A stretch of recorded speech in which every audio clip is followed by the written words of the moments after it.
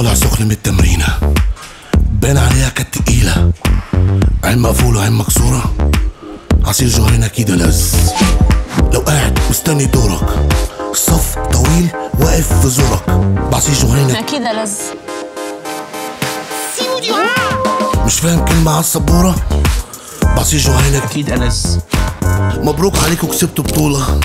بس انت طويل مقطوع من الصورة. بس في جهينة أكيد ألذ. هبطان بعد يوم طويل. بعصير جهينة أكيد ألذ بعصير جهينة أكيد لز لحظة سعيدة تعيسة جدا. بعصير جهينة أكيد ألذ وإيه أكيد ألذ جو صاد مش لذيذ. وضع بايخ مش مريح.